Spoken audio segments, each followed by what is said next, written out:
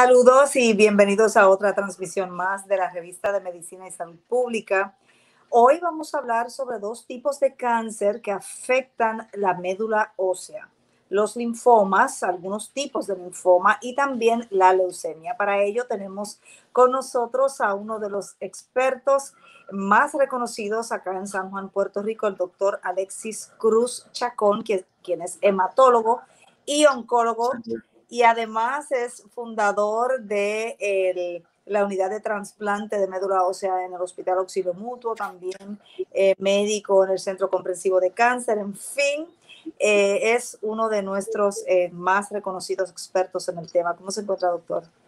Todo bien, gracias a Dios, gracias por la oportunidad y, y aquí estamos para poder hablar contigo sobre este tema claro. y lo que vamos a abordar queríamos hablar sobre los avances y, ¿verdad? y en el diagnóstico y en el tratamiento de ambas condiciones. Así que quizás pudiéramos comenzar con definir lo que es el linfoma y luego lo que es la leucemia para entrar entonces en el proceso del el diagnóstico.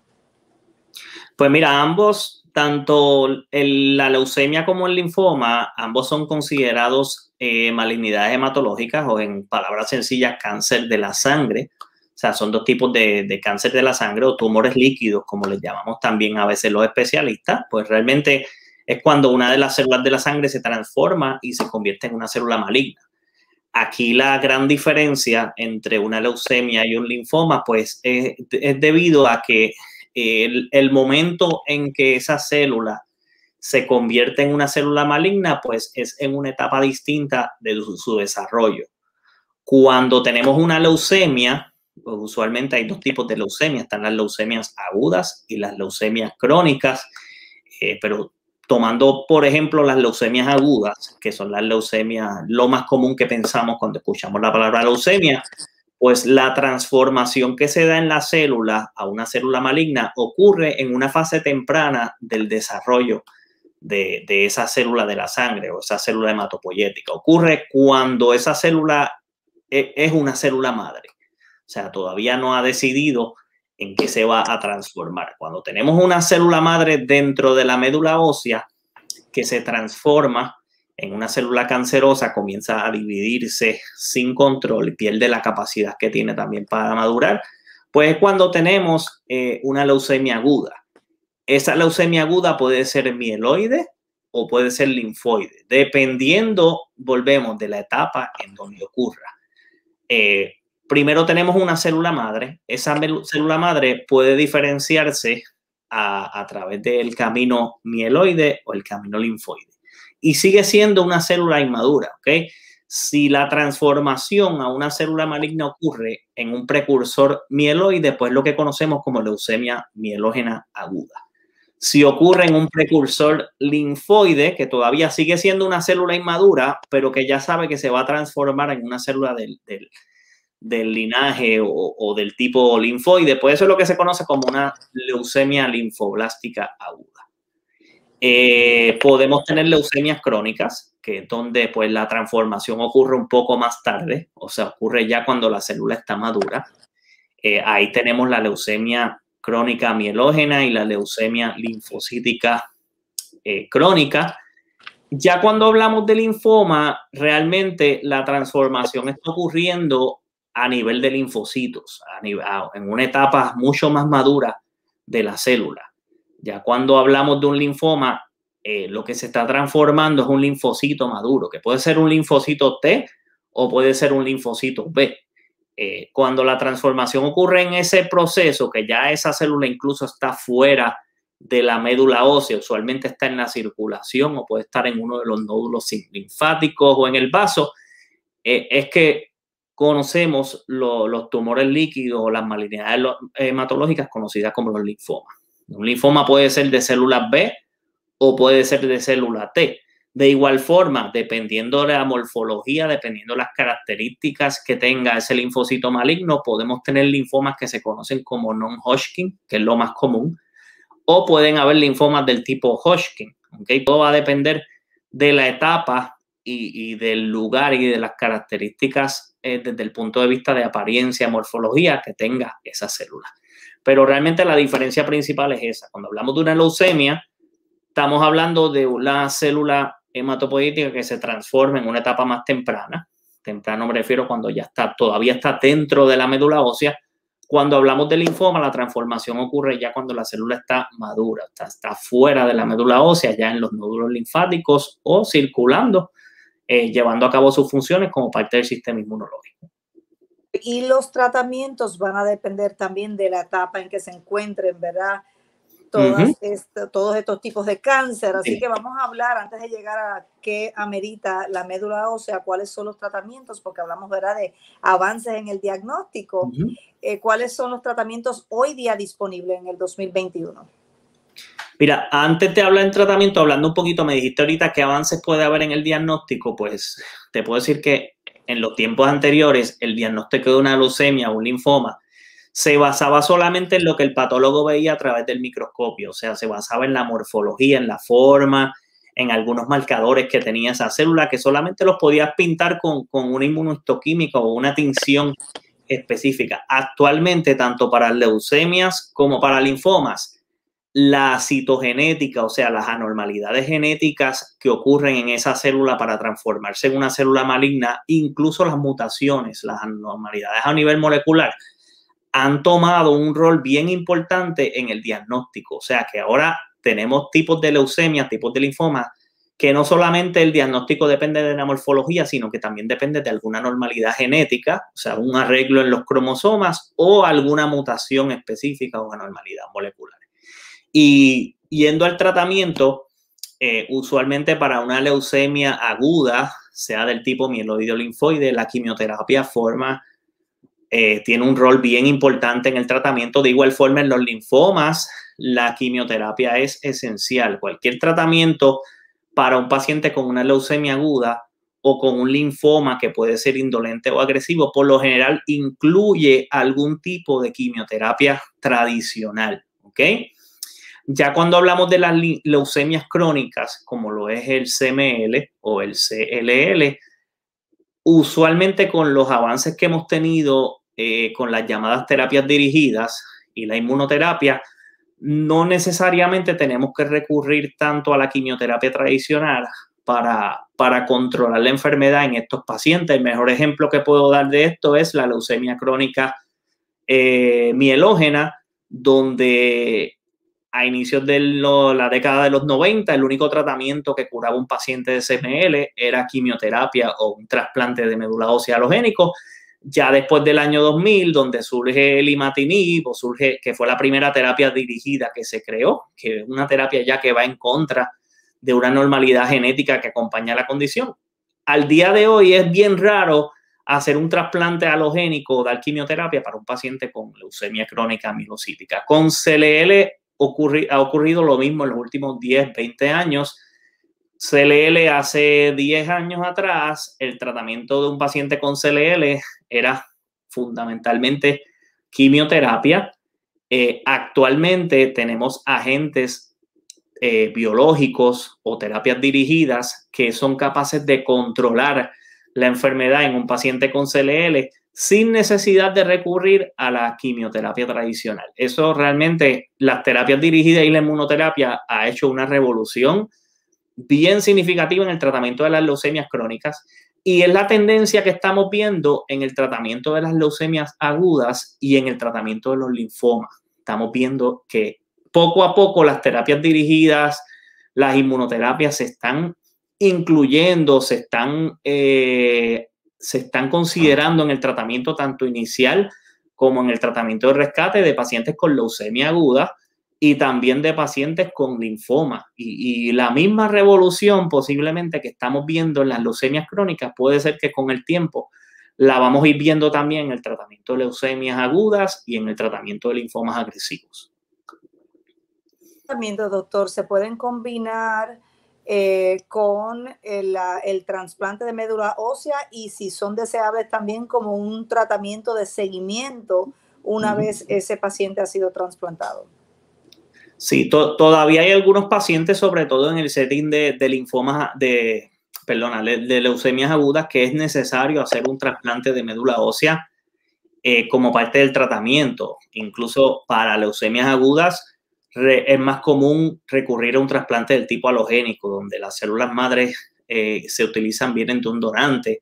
Para los linfomas todavía tenemos que recurrir al tratamiento con un trasplante autólogo eh, para muchos linfomas. Sin embargo, eh, gracias a estas terapias dirigidas, inmunoterapias, estamos teniendo la capacidad de que el paciente llegue a su momento de trasplante con una enfermedad mucho más controlada. Y esto le está dando a los pacientes la oportunidad de, poder mantenerse libres de enfermedad por un mayor periodo después del trasplante. Incluso, como bien mencionas, muchas de estas terapias dirigidas, muchas de estas inmunoterapias, al no tener unos efectos secundarios tan significativos como la quimioterapia tradicional, se pueden utilizar como un mantenimiento luego del trasplante para pues disminuir aún más el riesgo de que la enfermedad vuelva después del trasplante, que realmente es algo que las terapias dirigidas y la inmunoterapia nos ha dado la oportunidad también de poder mantener ese paciente libre de enfermedad luego del trasplante por un periodo de tiempo más largo, incluso de disminuir la posibilidad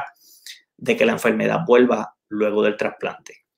Y como método ayudante también, previo a cualquier otra intervención. Exactamente, sí, usualmente el paciente requiere, eh, como te dije, aunque incluso si el paciente es candidato a un trasplante de médula ósea, siempre el paciente va a requerir algún tipo de tratamiento antes del trasplante y la mayoría de los pacientes también, si tienen una opción de mantenimiento luego del trasplante, pues eh, se, utiliza porque es una estrategia que nos ayuda a disminuir el riesgo de que la enfermedad vuelva.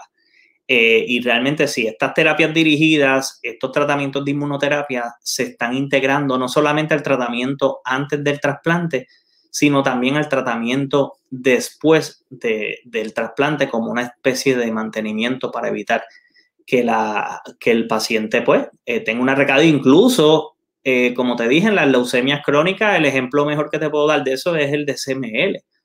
Habían pacientes que antes de que surgieran estas terapias dirigidas se llevaban a trasplante y era el único tratamiento potencialmente curativo. Actualmente, un paciente de CML rara vez lo llevamos un trasplante halogénico. Tenemos la capacidad de controlar la enfermedad a largo plazo utilizando una terapia dirigida. Y muchos de los esfuerzos que se están haciendo en investigación, sobre todo, aquí buscamos beneficiar, no todo paciente es candidato a un trasplante. Estas terapias dirigidas, estas inmunoterapias también han dado la oportunidad a pacientes que quizás por la edad o por algún tipo de comorbilidad o porque no tienen la mejor condición física no son candidatos a un tratamiento de alta intensidad o alto riesgo como lo es un trasplante, tengan como quiera la oportunidad de poder controlar su enfermedad a largo plazo sin recurrir, o sea, con un tratamiento que no necesariamente es tan tóxico o tan o tiene una mortalidad tan alta como lo es el trasplante. Que eso es otro, otra herramienta, otra, otra otro beneficio de, estas terapias dirigidas, esta inmunoterapia, que nos han dado la oportunidad de que los pacientes que no son candidatos a trasplante tenemos formas adicionales de controlar su enfermedad y, poder llevarlos a un estado de, libre de enfermedad por una cantidad de tiempo bastante buena. Cuando hablamos de terapias dirigidas, hablamos de la combinación de fármacos ya existentes digamos, hechos a la medida de ese paciente o el tipo de cáncer y la etapa en que se encuentra, o hablamos de otro concepto? Cuando hablamos de terapias dirigidas, realmente lo que nos estamos refiriendo son medicamentos eh, que no necesariamente la quimioterapia tradicional usualmente tiene un efecto letal en la célula del cáncer. O sea, hasta cierto punto es un tóxico que causa que la célula muera. Pero de igual forma puede tener un efecto nocivo en las células normales del paciente, porque la quimioterapia tradicional no sabe distinguir entre la célula de cáncer y la célula normal. El efecto tóxico es usualmente para toda célula que se multiplique constantemente, sea una célula maligna o, una célula normal, por darte un ejemplo, una célula del pelo, una célula del tracto gastrointestinal. Cuando hablamos de terapias dirigidas, son medicamentos que no necesariamente actúan en todas las células del cuerpo. Son medicamentos que por el mecanismo de acción que tienen, actúan directamente, a nivel, ya sea a nivel molecular o a nivel genético impidiendo un proceso del cual depende que la célula de cáncer sobreviva. Puede ser que actúen muchos en contra de una mutación que está hasta cierto punto siendo relacionada al cáncer. Puede ser que otros actúen quizá en contra de una proteína que es necesaria o de la que la célula de cáncer eh, necesita para sobrevivir. Algunos, como la inmunoterapia, lo que hacen es hasta cierto punto marcar esa célula maligna para que entonces el sistema inmunológico sea más capaz de, eliminarla. ¿Okay? Muchos interaccionan con proteínas o, algún tipo de enzima en la célula que, causa que esta célula se autoprograme para, para morir o, promueven el proceso de apoptosis, que es el término médico que utilizamos para eso. ¿Ves? Que, de, tirar un, de dar un tratamiento que, que, elimina tanto la célula cancerosa, pero puede tener un efecto en la célula normal. Vamos a un tratamiento así que se refiere a terapia dirigida. Va más dirigida a la célula del cáncer y tiene un efecto nocivo menor en las células normales del paciente. Por eso es que son tratamientos efectivos, pero no tienen la toxicidad o los efectos secundarios de una quimioterapia tradicional. Eso es un gran Eso es lo que nos referimos con terapias dirigidas un gran avance comparado con los tratamientos que habían hace varias décadas, ¿verdad? Exacto. Porque cada cáncer es tan individual como el propio eh, paciente, ¿verdad? Que lo padece. Por lo tanto, ya ahora es bien sofisticado el proceso de identificar eh, la, genética de ese tumor y de ese cáncer para poder utilizar todos estos medicamentos disponibles. ¿Cómo se logra eso, doctor? ¿Cómo se define eso una vez el paciente? Eh, llega a la oficina y tiene que comenzar ¿verdad? A, a pasar por el proceso de ese diagnóstico específico para poder tener estas terapias dirigidas. Pues como te mencioné, por eso es que es bien importante en el momento del diagnóstico que se integren no solamente la parte de eh, patología, sino que también estos marcadores eh, moleculares o estas pruebas de genética se incluyan al momento del diagnóstico, porque tienen tienen un gran valor en el sentido de que nos ayudan a, identificar cuán agresivo o cuán resistente a tratamiento puede ser ese cáncer. Por otro lado, también nos ayudan a, saber, o, sea, nos ayudan a identificar posibles terapias que, actúan en contra de ciertas mutaciones o ciertas anormalidades genéticas en específico. Que en realidad estos marcadores genéticos o moleculares tienen un valor al momento de diagnóstico tienen un valor pronóstico y tienen un valor también terapéutico, porque gracias a las terapias dirigidas y a estos tratamientos de inmunoterapia, pues podemos, podemos identificar ciertos, ciertos targets o ciertos objetivos que realmente la forma que tenemos de identificar esos targets objetivos es a través de las pruebas de genética y las pruebas moleculares. Es súper importante al punto de que muchas veces nos llega pacientes que no tienen alguna mutación eh, por ejemplo, todavía no se ha hecho la prueba de mutación o algún marcador importante para una inmunoterapia y, nosotros recurrimos a buscar esa patología inicial e incluirle esos marcadores para realmente saber si el paciente es candidato o no a, alguna terapia dirigida o inmunoterapia. Realmente es algo que se ha hecho parte, yo creo que, del tratamiento del cáncer, no solamente en las malignidades hematológicas, sino que estamos viendo la misma tendencia hasta en tumores sólidos, cáncer de pulmón. Vemos que el manejo de cáncer de pulmón está bien dirigido dependiendo qué mutaciones tiene el paciente. Cáncer de colon también se ha visto, el cáncer de seno. Vemos que esto es, esta terapia dirigida, esta inmunoterapia ha tenido un impacto a nivel de la, de la oncología en general estas terapias están disponibles para la mayor parte de los pacientes, por lo menos en Puerto Rico, donde hay la cobertura, ¿verdad?, de planes médicos privados, aseguradoras de salud y también está la del gobierno, la pública. ¿Está disponible para los pacientes? Están disponibles para los pacientes y te digo, tengo pacientes que todos los días se ordenan y realmente son terapias que forman parte de, del standard of care o de lo que recomienda la guía del NCCN, que como todos sabemos es lo que nosotros como oncólogos y lo que muchas veces las aseguradoras toman de, guía para ver si un tratamiento son aprobadas por el FDA y, y realmente están disponibles incluso eh, muchas de estas terapias dirigidas, inmunoterapias que están todavía en estudios, o sea, están accesibles incluso a través de estudios clínicos en, distintas instituciones en la isla que tienen estudios clínicos. Eso es importante también. Siempre Eh, puede ser que haya imagen, el setting de leucemia, linfoma. Siempre la opción de un estudio clínico es algo, es, uno, es una buena opción para el paciente, porque puede dar acceso a una terapia dirigida o una inmunoterapia que, que, sea un tratamiento prometedor y que todavía no esté aprobado por el FDA. Realmente, eh, eh, ya sea a través de una aprobación por el plan médico o a través de un estudio clínico en nuestra isla, sí tenemos la, nuestros pacientes tienen la oportunidad de tener acceso a estas terapias dirigidas, a estos tratamientos de inmunoterapia. Bien esperanzador, doctor. Y también es esperanzador quizás el resultado de lo que no hemos hablado. O usted comenzó a hablar de eso, pero no le he preguntado más para ver cuán importante es esta terapia en la sobrevivencia de ese paciente, mejorar su calidad de vida. ¿Qué nos indican los estudios sobre la aplicación y el efecto sobre el paciente? Estamos mejorando, estamos logrando mejores resultados, resultados tan buenos o mejores que los que se veían con la quimioterapia tradicional, sin necesariamente causar la misma mortalidad o la misma incidencia de efectos adversos eh, como consecuencia del tratamiento.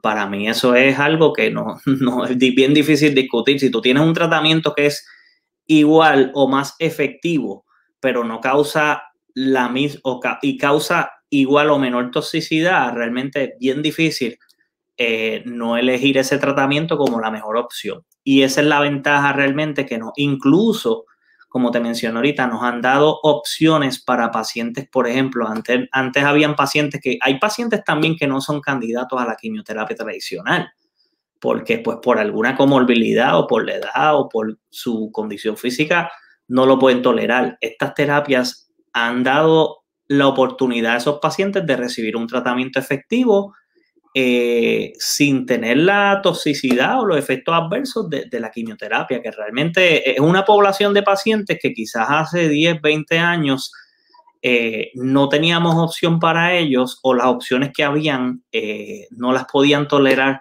de la forma más adecuada y actualmente con estas terapias sí tenemos mejores opciones efectivas que sean menos tóxicas para estos pacientes. Y, realmente ese es el gran, la gran revolución o el gran, eh, el gran resultado positivo que han tenido estos tratamientos, estas terapias dirigidas. Y además de esa gran revolución que usted señala, también el que estén disponibles acá localmente y que el paciente no tenga que viajar para obtenerlo fuera de Puerto Rico. Así que eso me parece que eso es, eh, son buenas noticias, doctor. Si quisiera orientarnos sobre de información adicional que puedan necesitar los pacientes para poder acceder a estos tratamientos y, sobre todo conocer más sobre ellos. Están disponibles y realmente hay muchos, hay muchos lugares, incluso, vuelvo y digo, los oncólogos, todos los oncólogos de la isla eh, están al día con estas terapias. Nosotros los esfuerzos, por ejemplo, en la oncología es un campo donde uno tiene que mantenerse todo el tiempo estudiando y es importante que el paciente le pregunte a su oncólogo sobre hay algún tipo de tratamiento que no sea quimioterapia que, me pueda ayudar y estoy seguro que el, su oncólogo va, a buscar la opción. Incluso en Puerto Rico hay múltiples eh, sitios donde pueden tener acceso a estudios clínicos eh, tanto en centro médico como en entidades privadas. Por darte ejemplo, el Centro Comprensivo de Cáncer tiene la facilidad de ofrecer estudios clínicos a los pacientes, el Hospital Oncológico sé que también tiene una sección donde se ofrecen estudios clínicos al paciente. El Centro de Cáncer Auxilio Mutuo también tiene la capacidad de darle estudios clínicos a los pacientes. Fundación de Investigación que está ahí también en San Juan. Sé que hay múltiples y cada día es bueno porque cada día eh, son más los oncólogos que se están enfocando en esta área de la investigación. Y eso es bueno porque eso le va a dar más opciones a nuestros pacientes. Y es importante, todas las terapias que tenemos actualmente las tenemos gracias a, a estudios clínicos, las tenemos porque un día estuvieron en un estudio de investigación. Y es darle a los pacientes de la isla la oportunidad de que puedan tener acceso a estas terapias eh, mucho antes de que las mismas sean aprobadas, realmente es algo que, nos va a ayudar a, darle la mano y, a tener mejores resultados con nuestros pacientes, independientemente el tipo de cáncer que tengan. Pues muchísimas gracias, doctor, por haber compartido con nosotros eh, su experiencia y toda esta orientación tan valiosa. Y me parece que también, ¿verdad?, esperanzadora para las personas que ya tengan alguno de estos dos tipos de cáncer que afectan la, la sangre. Y bueno, muchísimas gracias y, mi respeto, ¿verdad? Por el trabajo que hacen a favor de los pacientes. No, gracias a ustedes por la oportunidad y pues estamos a las órdenes para lo que podamos, siempre que podamos ayudar a, a, orientar al público, aquí, aquí vamos a estar agradecidos. Pues, pues, muchísimas gracias. Esperamos que muchas personas puedan acceder a esta información y la compartan. Y sobre todo, si les interesan los temas de salud y sobre todo de salud pública, pueden seguirnos en todas las redes sociales bajo arroba revista MSP. Será hasta una próxima ocasión. Gracias.